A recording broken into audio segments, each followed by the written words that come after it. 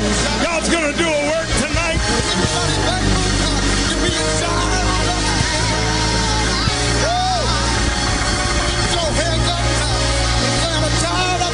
Hallelujah, hallelujah.